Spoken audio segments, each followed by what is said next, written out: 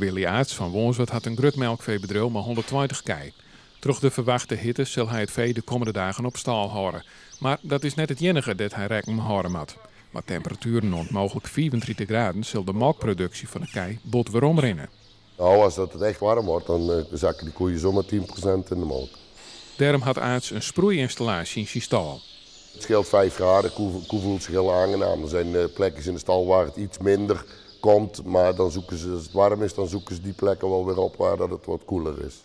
Intussen vindt wettenbedrijf Vitens nou al dat het wettengebruik door de warmte flink aanneemt. En dat had zelfs zijn gevolgen.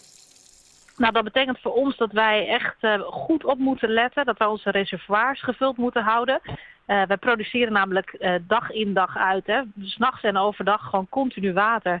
Maar wij moeten daar gewoon echt extra bovenop zitten. Uh, want we verwachten echt een enorme toename van het waterverbruik. En als we samen een beetje ons gebruik verspreiden, dan, uh, dan is er sowieso genoeg water. Ook voor de tuinen, ook voor douchen, ook voor zwembadjes, et cetera. Bij het waterskip zit het onderwerp hittegolf deze dagen heeg op de agenda. Want het is de komende dagen een kwestie van droeg, droeger, droegst. Daarom wordt goed in de gaten houden als de waterstoon in de provincie op bloot. Vanuit het IJsselmeer laten we het water uh, Friesland inlopen. En dat doen we op twee plekken. Dat doen we in, uh, in Lemmer en in Stavoren. En op die manier willen wij voldoende hoogte uh, in de Friese boezem houden. voor verschillende doeleinden, waaronder de scheepvaart.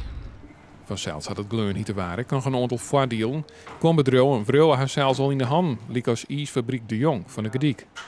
James Joghurt, de ijskar en uh, die flanen de ruut. En dat is maar goed ik.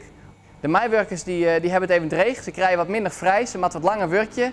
Uh, maar daar doe ik voor en dat weten ik al je van tevoren. Uh, dus van heel soort mensen die rieden op de vrachtauto's en de auto's op laan.